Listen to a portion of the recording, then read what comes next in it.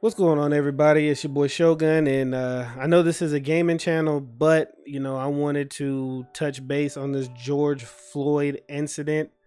Um, you know, me being a black man in America and kind of having a little platform, as little as it is, I feel you know it's my duty to say something about this, and you know, just try to you know bring some light into it and um, you know, say my thoughts on it and everything. But you know, before we get this started, um, you know, rest in peace to George Floyd. Uh, rest in peace to all. Actually, rest in peace to everybody that you know we've lost to police brutality and stuff like that. This is just or just lost to wrongdoing.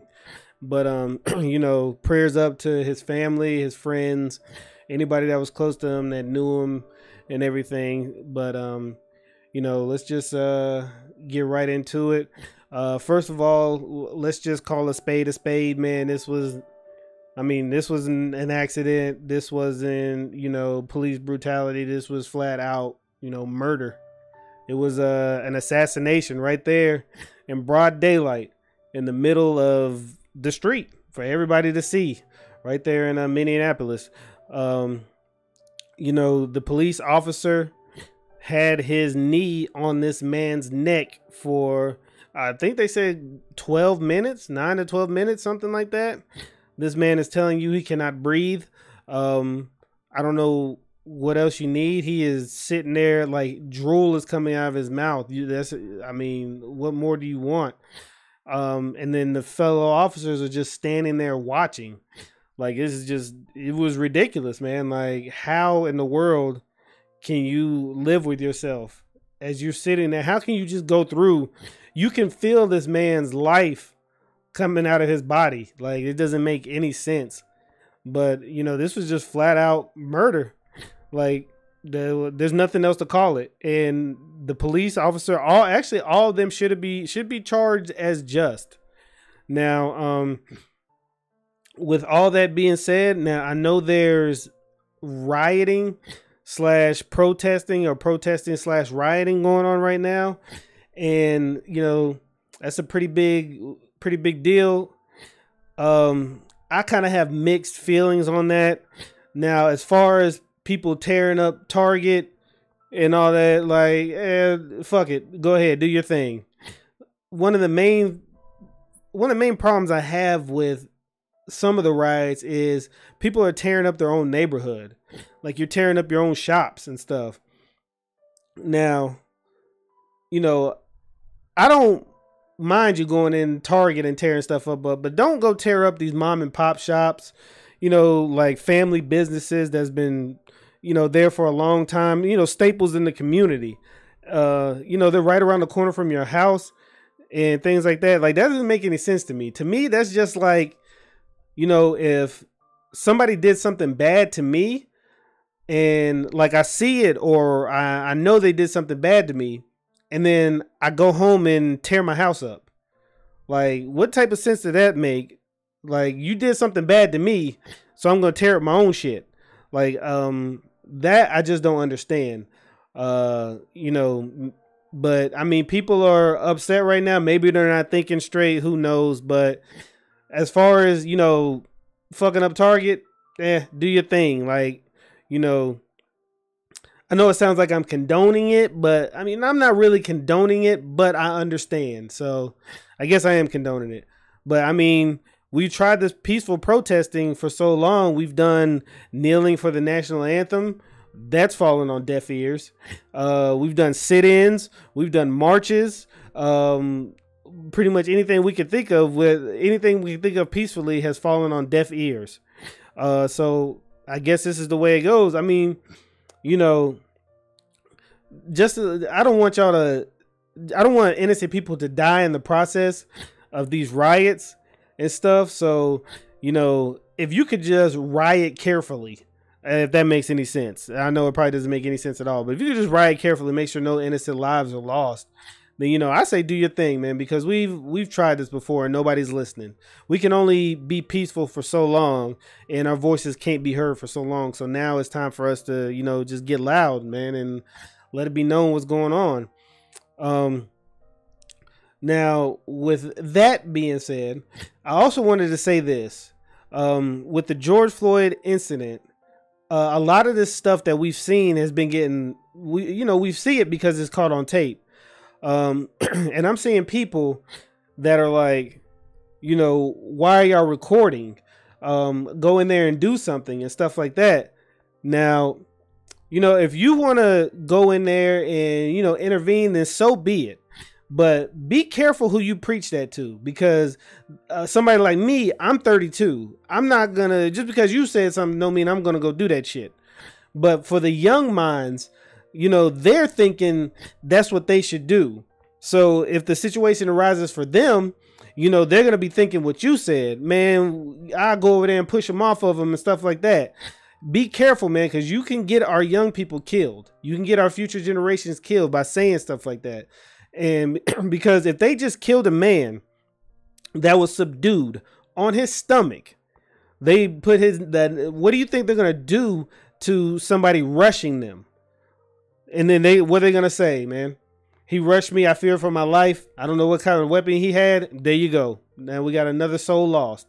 So in the process, you might push that officer off of that man, and then here you go. Now you're shot and dead. So you saved one life and lost yours. I mean, it's a, I don't know. I mean, it's really sad what happened, and there's really nothing we can do about it.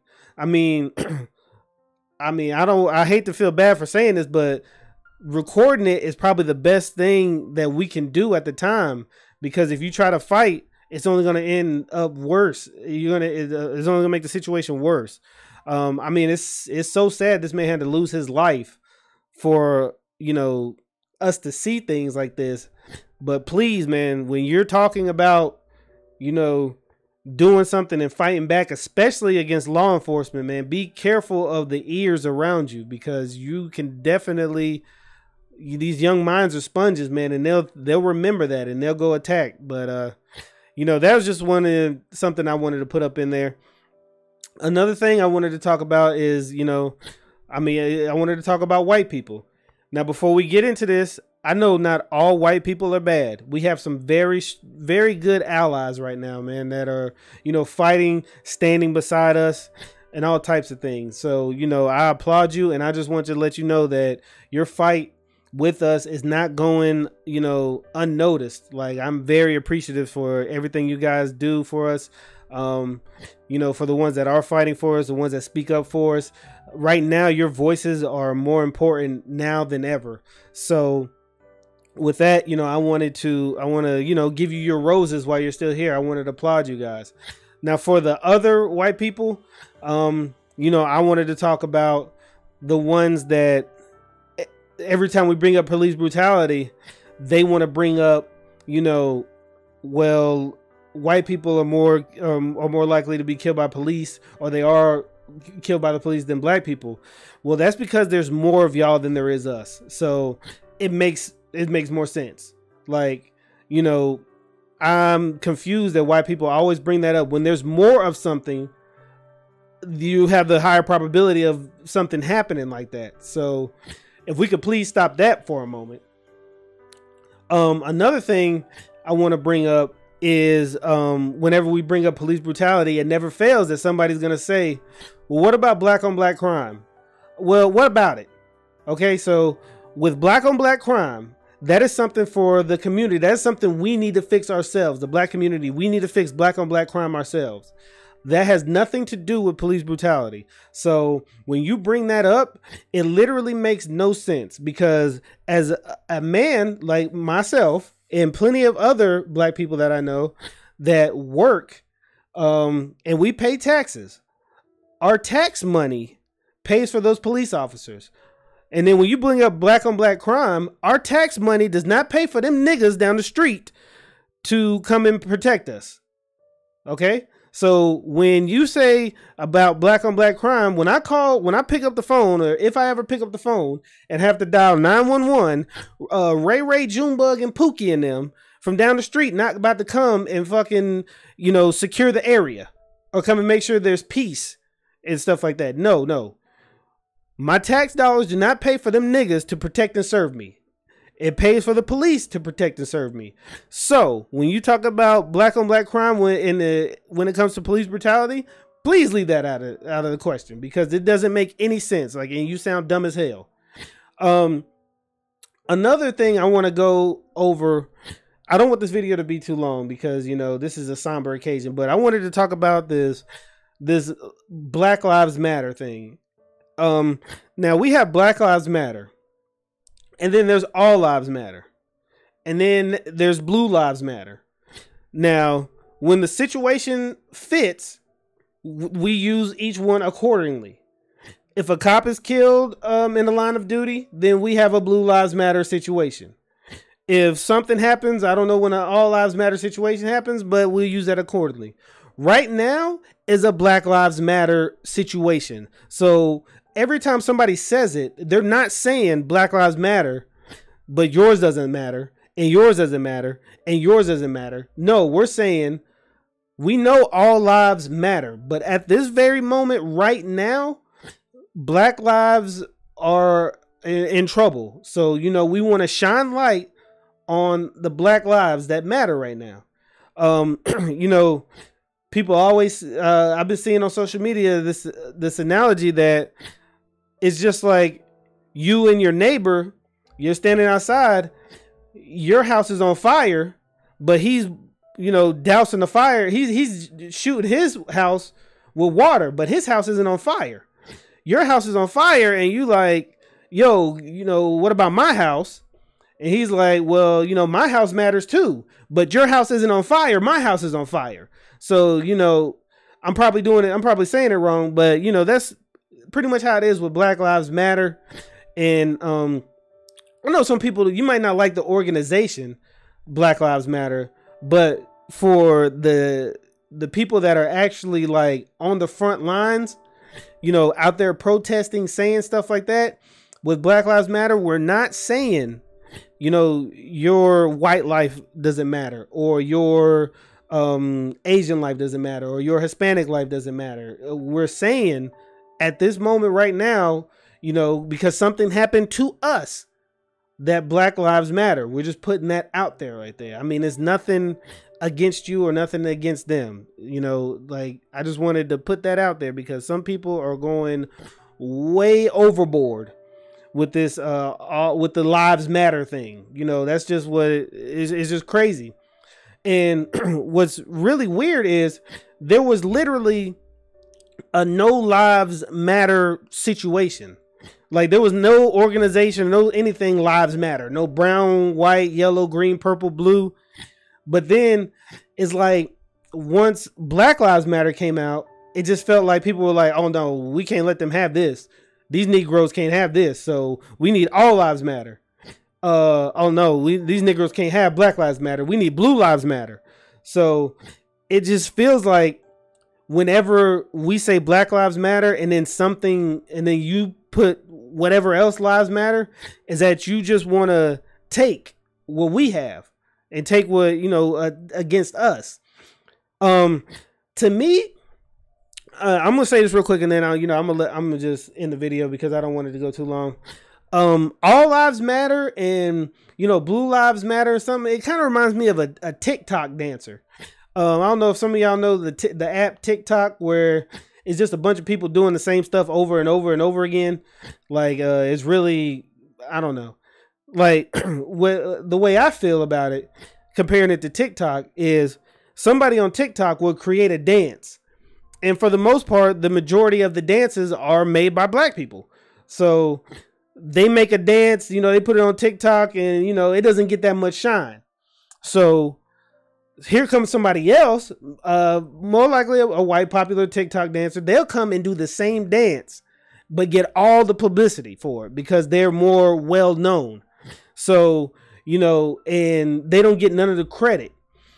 So, you know, when we say Black Lives Matter and you say all lives matter or whatever, we're not, you're taking away from the Black Lives Matter without giving us none of the credit and making us seem like the bad guy because we say Black Lives Matter.